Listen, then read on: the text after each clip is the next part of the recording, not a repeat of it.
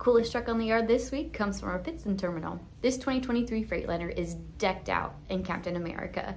When I was talking with Jerry, the driver of the truck, he had said he actually let his grandson design the truck and that he gave him two choices Spider Man or Captain America.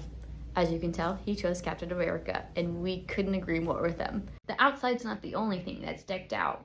On the inside, it's got custom seat covers, steering wheel cover, keychain, and bed sheets. Thanks so much, Jerry, for your design, and make sure to tune in next week for Coolest Truck on the Yard.